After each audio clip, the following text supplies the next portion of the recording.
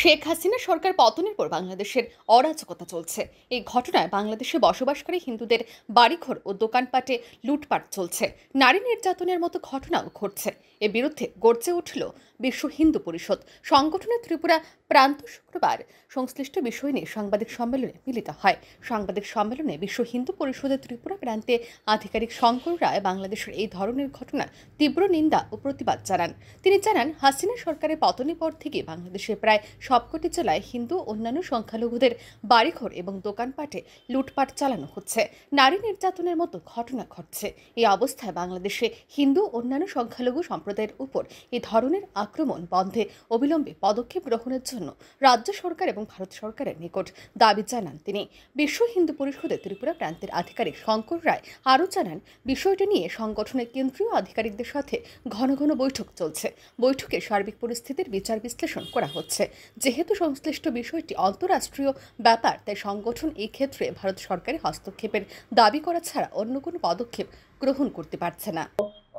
অত্যাচার আরম্ভ হয়েছে হিন্দুদের লুট বাড়িঘর লুটপাট দোকানপাটে লুটপাট বিভিন্ন বাড়িতে আগুন জ্বালিয়ে হিন্দুদেরকে একটা ভয়ভীতি এবং বিভিন্ন মাঠ দূর করে এদেরকে একটা বিশাল খারাপ পরিস্থিতি তৈরি করে ফেলেছে বাংলাদেশে।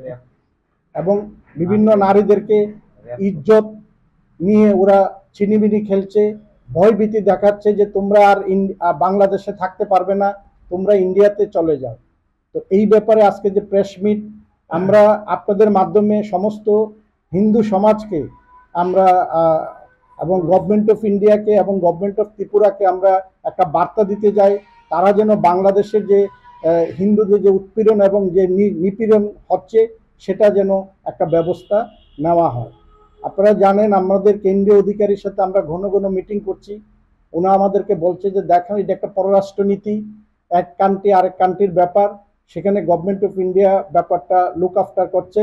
এবং আমরা প্রচণ্ড প্রেশার ক্রিয়েট করছি গভর্নমেন্ট অফ ইন্ডিয়াকে যাতে হিন্দুদেরকে একটা সেফ সাইডে নিয়ে যাওয়ার জন্য এবং যাতে অত্যাচার না হয় এবং নিপীড়িত যাতে না হয়, তা গভর্নমেন্ট অফ ইন্ডিয়া যেন বাংলাদেশে যে বর্তমান যে নতুন গভর্নমেন্ট গতকালকে ফর্ম করেছে ডক্টর ইউনুসের নেতৃত্বে, ওনাদের সাথে কথা বলে হিন্দুত্বের জানমাল সম্পত্তি হিন্দুদের যেন রক্ষা করা হয়। সাংবাদিক সম্মেলনে বিশ্ব হিন্দু পরিষদের পক্ষ থেকে একটি প্রেস বিজ্ঞপ্তি প্রচার করে জানানো হয়।